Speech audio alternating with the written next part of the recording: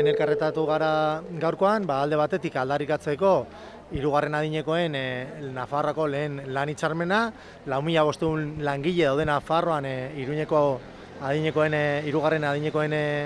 zaintza arduratzen diren lau mila bosteun langile, eta horren du, lan baldintzen duintasuna eskatzen dugu horretarako Nafarroko lehen lan hitzarmena. Eskatu bari dugu Nafarroko nori konpromesu hartzea langile guztie kiko eta gizarte osoarekiko eta e, ereduaz e,